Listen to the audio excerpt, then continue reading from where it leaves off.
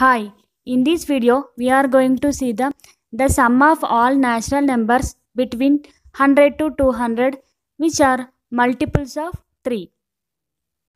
So here for the first step is we need to find out the multiples of 3 between 100 to 200.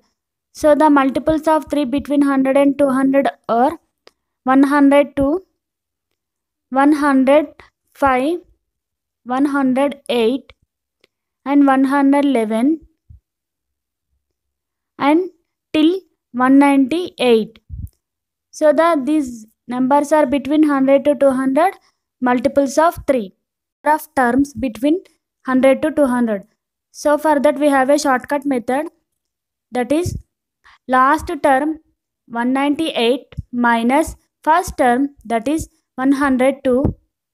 plus difference here the difference is 3 105 minus 102 that is 3 by difference that is 3 so now 198 minus 102 that is 96 plus 3 by 3 so it is 99 by 3 that is 30 it would be 33 so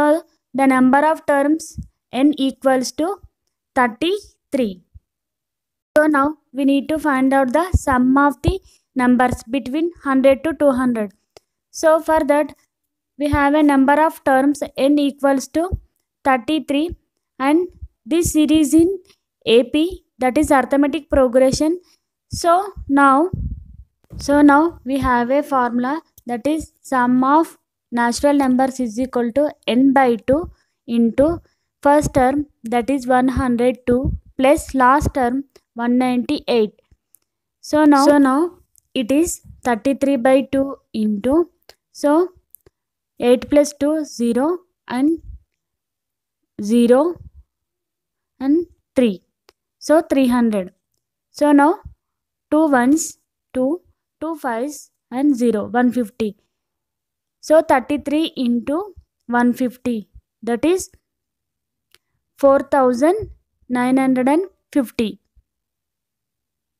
so the sum of the numbers between 100 to 200 are